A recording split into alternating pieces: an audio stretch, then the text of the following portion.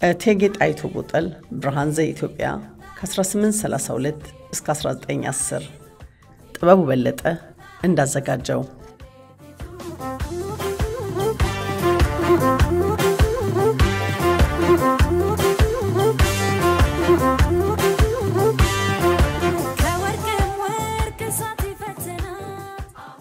በኢትዮጵያ የፖለቲካ፣ የማህበራዊ፣ የሃይማኖታዊ ጉዳዮች ላይ ሰፊ ድርሻና አስተዋጽኦ ያላቸው ሴት ናቸው። በዘመናቸው ሀገራቸው ኢትዮጵያን ከቅኝ አገዛዝ አፋፍ ላይ በደረሰችበት ወቅት በቆራጥነት በአይበገሬነት ተጋፍጠው ትውልድንና ሀገርን ለዘላለም ታድገዋል። ዛሬ የምናነሳሳቸው እቴጌ ጣይቱ ቡጥል ብርሃን ዘኢትዮጵያ ናቸው። በያዝነው ሳምንት ማለቂያ ላይ የአድዋ ጦርነትን ድል እንዘክራለን። በዚህ ጦርነት ውስጥ ብዙዎች ወድቀዋል። ሕይወታቸውን ለሀገራቸው ቤዛ አድርገዋል። ድምፀ ተስረቅራቂዋ ድምፃዊት እጅጋየሁ ሽባባው ውብ በሆነ ድምጿና ግጥሟ የአድዋን ጀግኖች ገድል አዚማለች። ሰው ሊኖር ሰው ሞቶ እያለች ዘክራቸዋለች።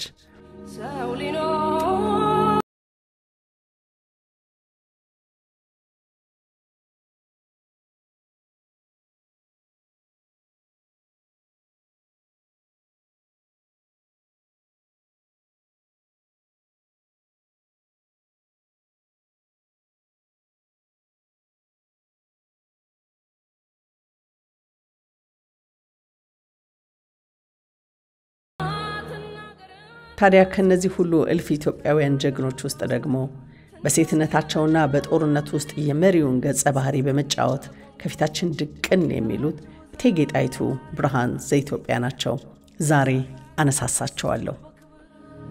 በደስታ በፍቅር እቴጌ ጣይቱ ልክ እንደ አጼ ቴዎድሮስና አጼ ምኒልክ ሁሉ የደራሲያንንና የኪነ ጥበብ ሰዎችን ቀልብ የሚገዛ ታሪክ ባለቤት ናቸው። በቅርቡ ቴዲ አፍሮ ጥቁር ሰው በተሰኘው አልበሙ የአድዋን ጀግኖች ሲዘክር እርሳቸውንም አንስቷል። ጣይቱ የሚል ዘፈን ያወጡ ሴት ድምፃውያንም አሉ። ራሄል ዮሐንስም ከዓመታት በፊት ለጣይቱ አዚማለች። ተዋናዩና ጸሐፊ ተውኔቱ ጌትነት እንየውም እቴጌ ጣይቱ የሚል ቲያትር ደርሶ በቶማስ ቶራ አዘጋጅነት በማዘጋጃ ቤት አሳይቷል። ታላቂው ጸሐፊ ተውኔት ባለቅኔ ሎሬት ጸጋዬ ገብረ መድኅን ምኒልክ በሚሰኘው ረጅም ቲያትሩ ላይ የእቴጌ ጣይቱን ታላላቅ ስብዕናዎች አሳይቷል። ደጃዝማች ግርማቸው ተክለ ሐዋርያት አድዋ በተሰኘው የቲያትር ጽሑፋቸው ውስጥ ጣይቱን አሳይተውናል። ፕሮፌሰር ኃይለ ገሪማ አድዋ በተሰኘው ጥናታዊ ፊልማቸው ውስጥ የጣይቱን ስብዕና ጠቁመዋል። ሌሎችም የኪነ ጥበብ ሰዎች እቴጌ ጣይቱን በልዩ ልዩ ሥራዎቻቸው ዘክረዋቸዋል። ወደ ታሪክ ጸሐፊዎች ስንመጣ ደግሞ ጣይቱ ቡጥል ያያሌ ጽሑፍ ማድመቂያ ናቸው። ለምሳሌ ከሀገር ውስጥ ብቻ ያሉትን ጸሐፊዎች ስንቃኝ በአጤ ሚኒሊክ ዘመነ መንግሥት ውስጥ የነበሩት ጸሐፊ ትእዛዝ ገብረ ሥላሴ በቀዳሚነት ይጠቀሳሉ። ብላታ ጌታሪ ወልደ ሥላሴ የጣይቱን ብርሃማነት በሰፊው አነሳስተዋል። ነጋድራስ ገብረ ሕይወት ባይከዳኝ ያንን ዘመን ከመዘከር አልፈው የጣይቱ ማንነት አሳይተውናል። ብላታ መርሴ ሐዘን ወልደ ቄርቆስም ጣይቱን ዘክረዋል። ቀኛዝማች ታደሰ ዘውዴ ጣይቱ ቡጥል የተሰኘው መጽሐፍ ቀደም ባለው ዘመን አሳትመዋል። ታሪክ ጸሐፊው ተክለ ጻዲቅ መኩሪያ፣ ጋዜጠኛውና ደራሲው ጳውሎስ ኞኞ የአፄ ኃይለ ሥላሴን ታሪክ የጻፉት በሪሁን ከበደና ኮሎኔል ዳዊት ገብሩ የከንቲባ ገብሩ ልጅ ብሎም በዚህ በእኛ ዘመን ደግሞ ፋንታውን እንግዳና እስክንድር ነጋን የመሳሰሉ ጸሐፊያን ጣይቱ ብጡልን በተለያዩ መንገዶች አነሳስተዋል።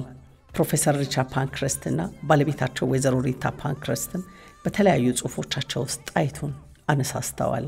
ወደ ውጭ ሀገር ጸሐፊያን ስንሄድ በርካታ የአድዋን ጦርነትና ጣይቱን እየጠቃቀሱ ጽፈዋል። የዓለምን የፊልም ታሪክ በመጻፍ የምትታወቀው ክሪስ ፕሩትም ጣይቱን ብጡልን በተመለከተ ጽፋለች።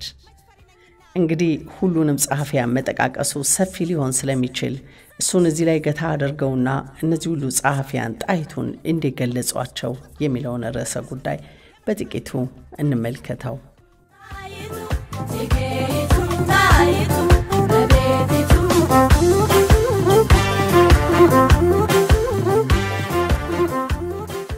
እቴጌ ጣይቱ የተወለዱት ነሐሴ 12 ቀን 1832 ጎንደር ውስጥ ደብረ ታቦር ከተማ ነው።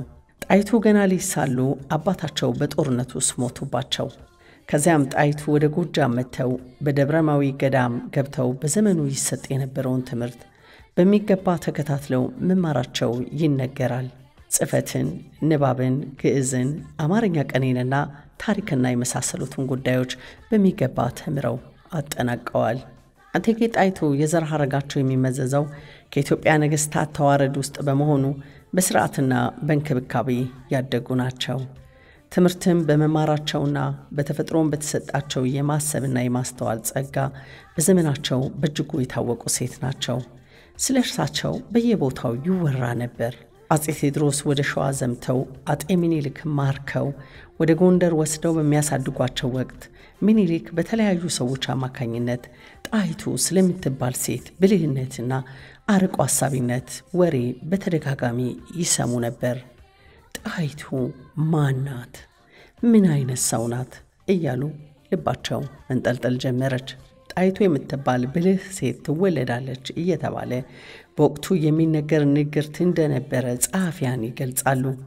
ጣይቱ ከብልህነቷ የተነሳ ኢትዮጵያን ትመራለች እየተባለም ለረጅም ጊዜ ሲነገር ቆይቷል።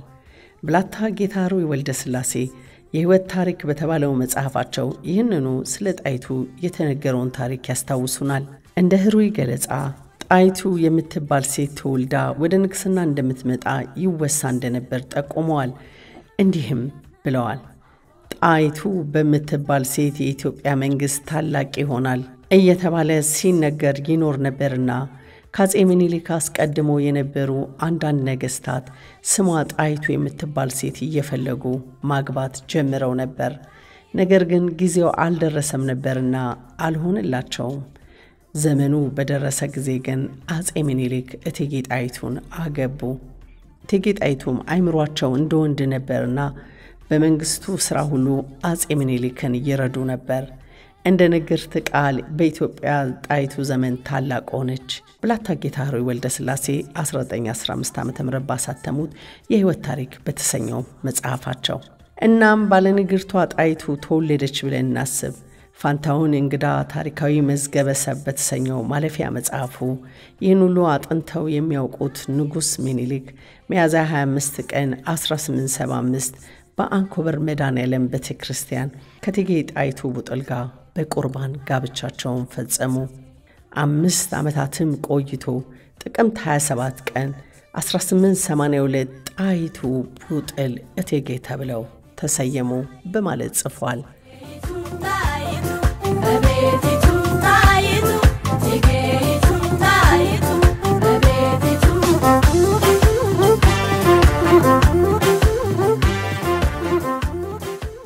ደራሲ ፕሮፌሰር ነጋድራስ አፈወርቅ ገብረ ኢየሱስን ጠቅሶ ስለ ጣይቱ ቡጥል በወቅቱ የጻፉትን አስቀምጧል። አፈወርቅ ገብረ ኢየሱስ ዳግማዊ አጤ ምኒልክ በተሰኘው መጽሐፋቸው ስለ ጣይቱ የሚከተለውን ጽፈዋል። የሸዋ ቤተ መንግሥት ዓለሙ የዚህ ቀን ተጀመረ። የሸዋ ቆሌ፣ የሸዋ ደስታ የዚህ ቀን ተጀመረ። የሸዋ መንግሥት ከጣይቱ በኋላ ውቃቢ ገባው፣ ግርማና ውበት ተጫነው፣ ጥላው ከበደ። የእውነተኛ አዱኛ የእውነተኛ ደስታ ከጣይቱ ቡጥል ጋር ገባ ብለዋል ፕሮፌሰር አፈወርቅ። አፄ ምኒልክ ከቀድሞ ባለቤታቸው ከወይዘሮ ባፈና ጋር ፍቺ ፈጽመው ከጣይቱ ጋር መጋባታቸውን የሚያስቧቸውን ራዮች ሁሉ ለማሰካት እድል እንደገጠማቸው ጸሐፍት ያወሳሉ። በተለይ ኢትዮጵያን ለማዘመን በተነሱበት ጊዜ የእቴጌ ጣይቱ እገዛና ተጨማሪ ሐሳቦች ጥርጊያውን በሚገባ አጸዳርተውታል። ጣይቱ ያልተሳተፉበት ልማት አልነበረም።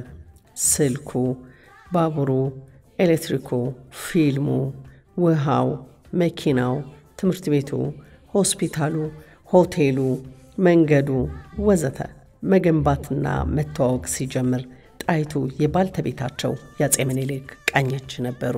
እቴጌ ጣይቱ በሰው ልጆች ታሪክ ውስጥ ሕያው አድርጓቸው በየትኛውም ዘመን እንዲጠሩ ካደረጋቸው ነገሮች መካከል የጥቁር ሕዝቦች ሁሉ አበሳ የነበረውን የቅኝ አገዛዝ ስልትን አሻፈረኝ ብለው እምቢኝ ብለው ወጥተው ጦርነት ገጥመው በድል ያጠናቀቁበት ታሪክ ነው። የጣሊያን አጭበርባሪዎች ኢትዮጵያን አሳስተው ውጫሌ ላይ የተደረገውን የሁለቱን አገሮች ውል ቅኝ ግዛት መያዣ ሊያደርጉበት አሲረው ነበር። እናም ይህን ሴራ ከተረዱ በኋላ እቴጌ ጣይቱ በልበ ሙሉነት ከኢጣሊያ መንግስት ጋር ጦርነት ለመግጠም ያለ የሌለ ወኔያቸውን ሰብስበው ተነሱ። የኢጣሊያውን ዲፕሎማት አንቶሊኖን ጣይቱ እንዲህ አሉት። ያንተ ፍላጎት ኢትዮጵያን በሌላ መንግስት ፊት የኢጣሊያ ጥገኛ መሆኗን ለማሳወቅ ነው። ነገር ግን ይህን የመሰለ የምኞት ሐሳብ አይሞከርም። እኔ ራሴ ሴት ነኝ፣ ጦርነት አልፈልግም። ነገር ግን ይህንን ውል ብሎ ከመቀበል ጦርነትን እመርጣለሁ ሲሉ ተናግረዋል። በሀገራችን ሉዓላዊነት ላይ ምንም አይነት ድርድር እንደማያደርጉ በትንታግ ንግግራቸው አሳውቀዋል። ከዚያም ሦስት ሺህ እግረኛ ወታደርና ስድስት ሺህ ፈረሰኛ ጦር እየመሩ ከአጤ ምኒልክ ጎንና ከሌሎች የአድዋ ጀግኖች ጋር ሆነው ዘመቱ። በጦርነቱ ወቅትም የጀግኖች ጀግና ሆነው በኢጣሊያ ሰራዊት ላይ ድልን ተቀናጁ።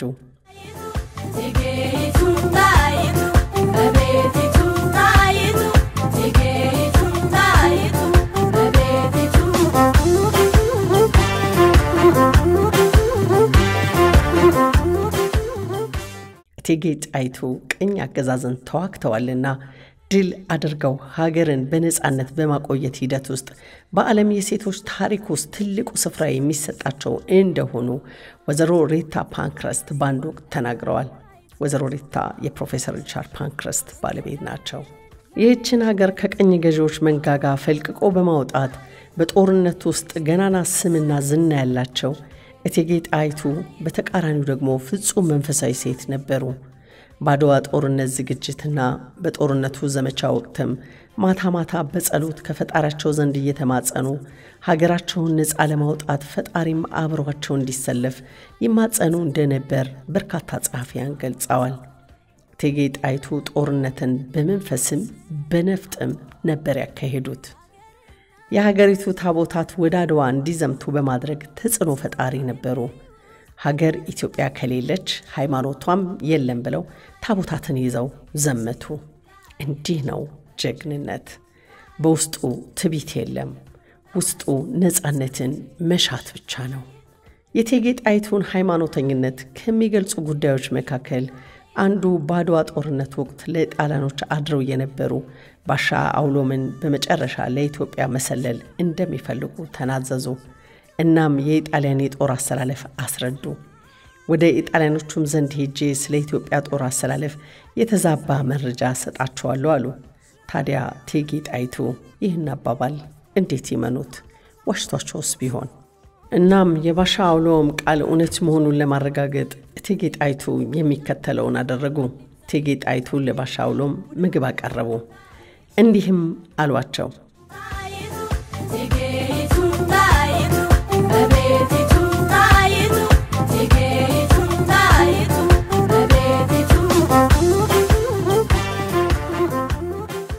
እኔ አሁን የማቀርብልህ ምግብ የእግዚአብሔርን ስም ጠርቼ ነው። አንተም የእግዚአብሔርን ስም ጠርተህ ሥጋ ወደሙ እንደምትቀበል አድርገህ ቁጠረው። የተናገርከውን ሁሉ በእርግጥ የምትፈጽም መሆኑን ተናግረህ ማልና የቀረበልህን ምግብ ብላ አሏቸው። ባሻ አውሎምም ምለው በሉ። በመሐላቸው መሠረት ለሀገራቸው ጦር መረጃ ሰጡ። ጣይቱ ጥልን በጦርነት ውስጥ አይተው ከጻፉ ደራሲዎች መካከል ጸሐፊ ትእዛዝ ገብረ ሥላሴ አንዱ ናቸው። እርሳቸው ስለ ጣይቱ ሲጽፉ ከጀግንነታቸው ባሻገር ለአርበኛው ሁሉ መነቃቂያ ነበሩ። ሴት ሆነው እንደዚያ መዋጋታቸው ለወንዶቹ ጽናት ነው፣ ይበልጥ መጠንከሪያም ነው እያሉ ጸሐፊ ትእዛዝ ጽፈዋል።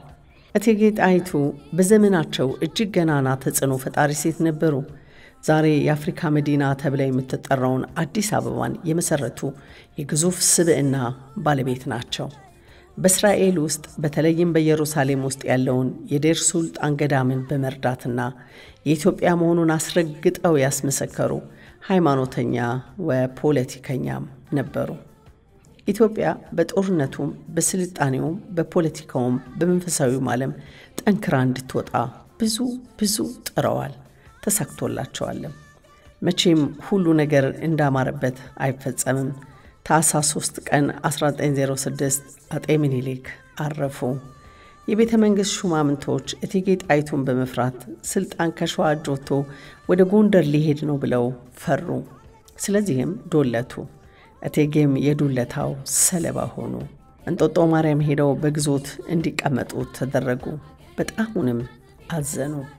በዚያውም የሐዘን ስሜታቸው አፍሪካዊቷ ጀግና እቴጌ ጣይቱ የካቲት 4 1910 ሌሊት ከዚህ ዓለም በሞት ተለዩ።